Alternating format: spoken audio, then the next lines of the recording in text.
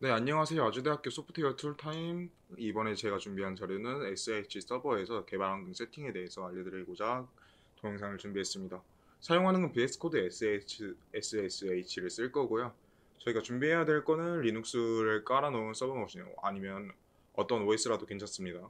그리고 VS Code 그리고 SSH 클라이언트 저 같은 경우는 이제 PuTTY를 사용했어요. 그리고 SSH GUI 서버 Xming이나 아니면 VCX 서버라는 프로그램을 깔아주시면 되겠고요.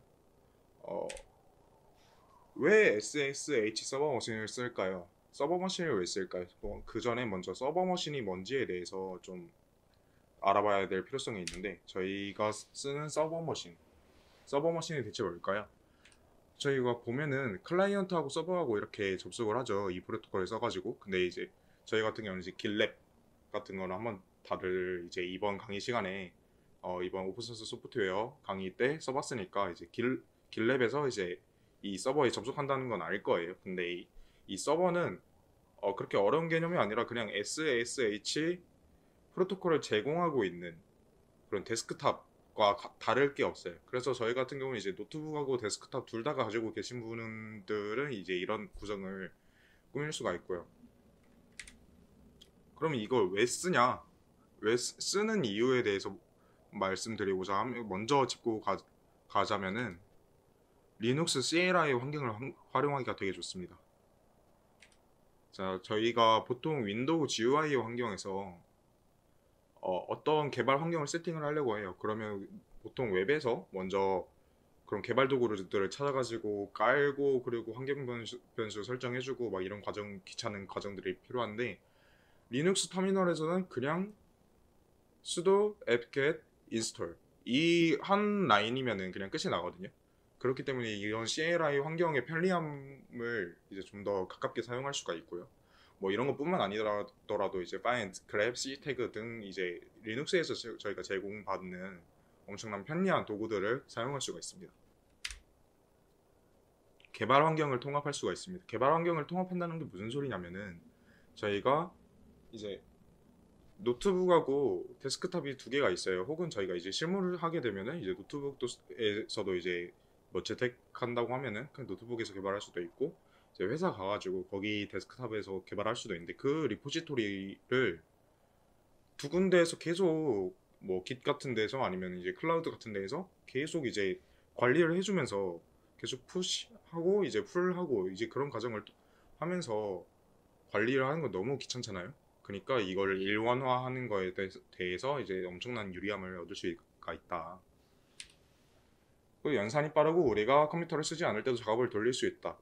연산이 빠르다는 거는 이제 저희가 서버 machine에는 오로지 그 리눅스밖에 안 돌아가는 거예요. 저희 윈도우 쓰면은 보통 윈도우 돌리려고 돌아가는 프로그램들, 프로그램들이 되게 많이 돌아가고 있잖아요. 백그라운드에서.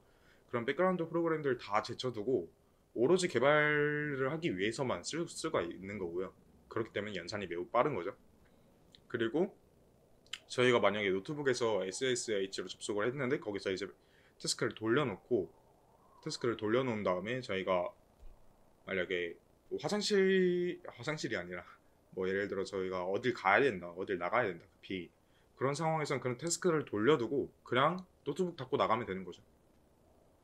그렇기 때문에 그 태스크를 분리할 수 있는 것에 대해서 장점이 있고요. 그리고 실무에서도 씁니다. 이게 제일 중요하겠죠.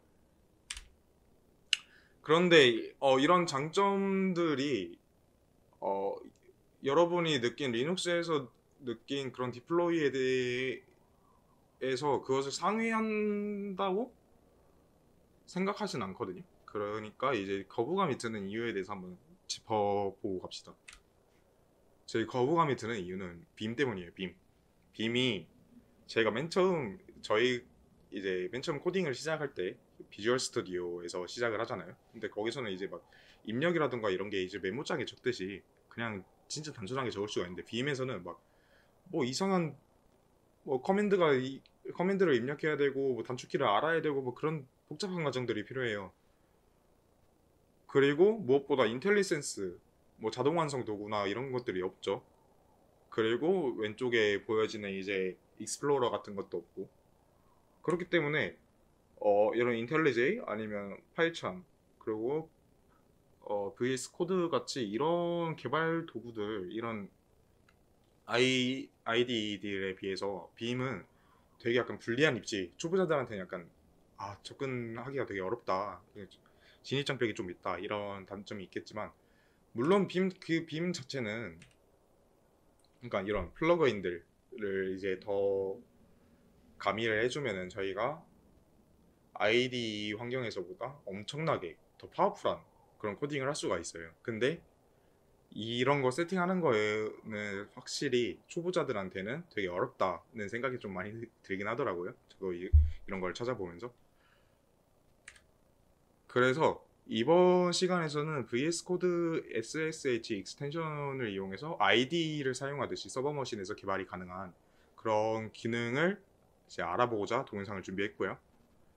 백문이 불여, 불여일견이라고 이제 한번 직접 볼까요? 자 먼저 이렇게 VS Code를 켜주시고요. 왼쪽에 보면은 extension 아니면 Control Shift X를 눌러서 들어가 주세요. 그리고 여기에 보시면은 이제 Remote Development 아니면 검색을 하셔가지고 이제 이 Remote Development라는 걸 이제 설치를 하시고요. 설치를 한 다음에 F1을 누르시면은 SSH를 검색하셨을 때 이렇게 세 가지 옵션이 뜰 거예요. 그래서 Open SSH Configuration 파일 로 들어가 주시면은 이제 최상단에 있는 Configuration 파일을 선택을 해주시고요.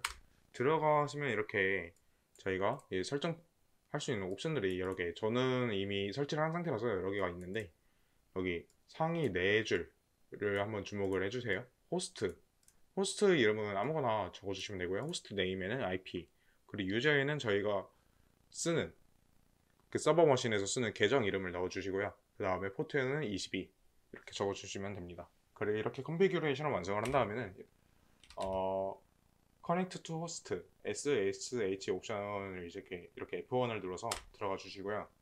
그러면 저희가 작성한 configuration의 파일에 대해서 이렇게 호스트가 생성이 되어 있을 거예요. 그래서 이걸 눌러서 들어가 주시면 됩니다.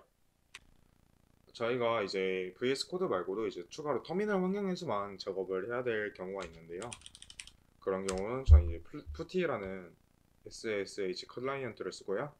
어, PuTTY 설정은 이제 들어와가지고 호스트 네임, IP 어드레스를 입력해주고 포트 입력 이걸로 이제 SSH 접속을 할 수가 있어요. 어, 여기서 이 왼쪽에 있는 카테고리에 있는 옵션들은 저희가 깊게 봐야 될 거는 이제 어, 이런 X11 포워딩이나 아니면은 어, authentication, 어, SSH 키가 따로 있으신 경우는 이런 걸 이용을 하시면 되겠고요. 어, 그 외에도 이제 컬러나 이런 부분을 좀 변경을 해 주실 수가 있습니다. 그래서, 그래서 이렇게 접속을 해 주시면은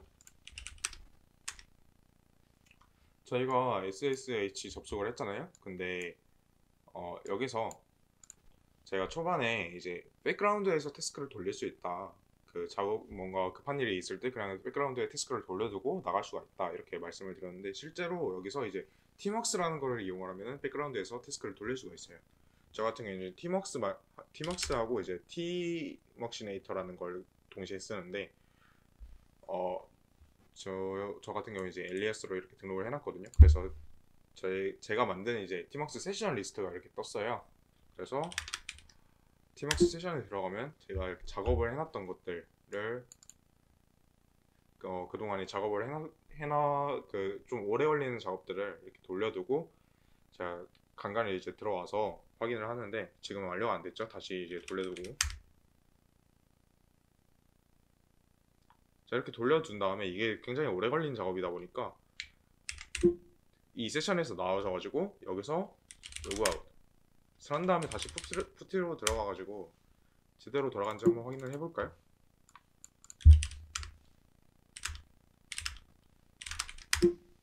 자 보면은 이렇게 같이 제대로 돌아가고 있죠 어 그래서 이렇게 tmux랑 tmuxinator를 이제 활용을 하면은 이렇게 이 세션 관리를 통해서 이렇게 어, 작업을 돌려두고 저희가 나갈 수가 있고요. 어, 뭐 이렇게 오래 걸리는 작업 같은 경우는 이 세션에서 나가도 어, 세션은 계속 돌아가고 있기 때문에 이렇게 백그라운드에서 돌려주시면 되고 뭐 팀웍스랑 팀웍 시네이터 같은 경우는 이제 apt 리포지토리를 통해서 설치를 할 수 있으니까 그 리포지토리를 이용해서 설치를 하시면 될 것 같아요.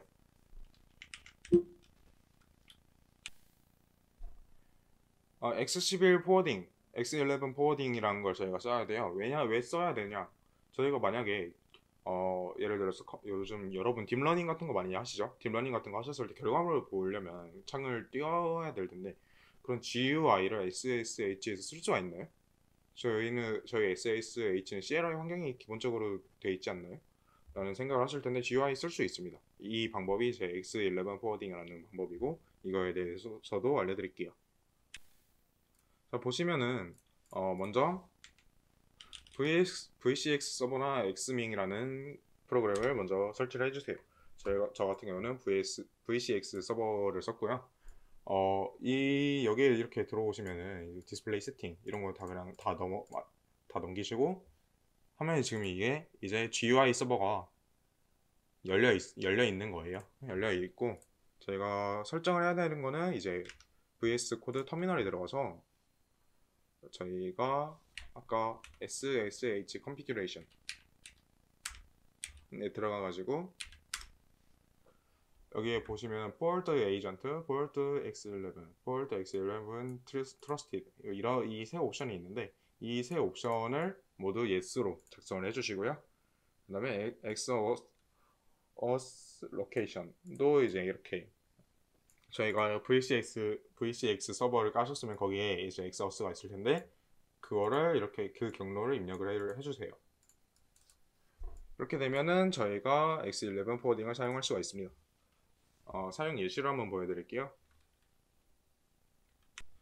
자, 이건 제가 직접 작성했었던 코드고요. 그 컴퓨터 비전 수업 이제 과제 제출물인데 여기 보시면은 어, 제가 이미 파일들을 만들어 놨어요. 그리고 여기서 이제 런을 할 건데 이 결과물을 이제 런을 할 건데 시- 결과물 디렉토리에 이미 들어와 있는 상황이거든요. 여기서 cv1을 입력을 해봅시다. 그러면은 저희가 서버에서 이렇게 그 XC, X11 서버가 이렇게 GUI에 반응을 해가지고 어, 이런 GUI를 열어주는 걸 볼 수가 있어요. 이렇게 해서 저희가 결과물들을 확인을 할 수가 있고요. 자, appendix 2로 이제 tunneling이랑 port, port forwarding에 대해서 이제 알아볼 건데요.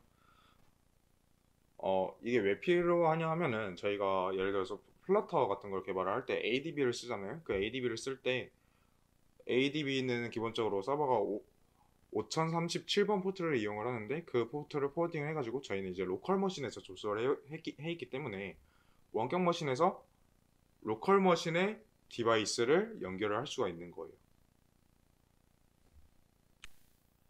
혹은 그런 ADB를 쓰는 거 말고도 local machine에 있는 포트를 이제 원격 machine이 자유롭게 이용할 수 있도록 이제 tunneling을 해주는 거죠. 그 방법은 어떻게 되냐면은 자 이번에도 이- 이렇게 configuration 파일을 가져왔고요. 여기 configuration 파일을 보면 remote port forward라는 이제 줄이 삽입이 돼 있어요. 5037번 포트를 localhost 5037 포트에 연결해 준다. 이게 무슨 말이냐면은 원격지에 있는 5037 포트를 localhost 5037 포트에 연결해 줘 가지고 제, 저희가 쓰고 있는 이제 5037 포트를 원격지에서 5037 포트처럼 이용을 하고 있는 거죠. 그럼 저희가 한번 엑스, 어, 테스트를 한번 해보기 위해서 ADB를 한번 열어볼게요. A, ADB start server. 그럼 이쪽에서 이제 ADB 서버가 열렸죠. 그리고 ADB device라면은 어, 서버가 열려 있어야만 이제 ADB device라는 명령이 제대로 작동을 하는데 여기서 ADB device를 한번 하시면은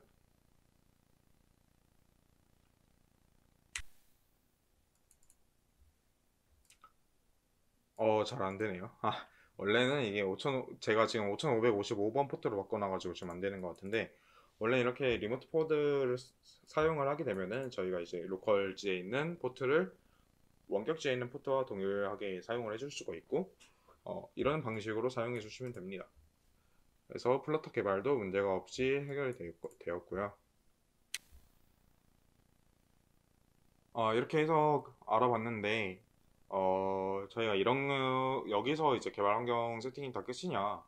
사실 이 개발 환경을 세팅을 하고 build를 하는 데는 이제 build 자동화 도구들이 사용이 되는데 저희 Android Studio 같은 경우는 이제 Gradle 그리고 뭐 Visual Studio 같은 경우는 CMake 등의 이제 build 자동화 도구를 사용을 합니다. 근데 저희는 이제 VS Code라는 에디터에서 이제 개발을 했기 때문에 그런 개발 도구, 개, 개- build 자동화 도구에 대해서 좀 더 알아보시면 좋을 것 같고요. 추가적으로 이제 Docker 혹은 컨테이너의 개념에 대해서 알아보시면은 저희가 SSH 서버를 개발 machine으로 활용하는데 더 도움이 될 수 있을 것 같습니다. 감사합니다.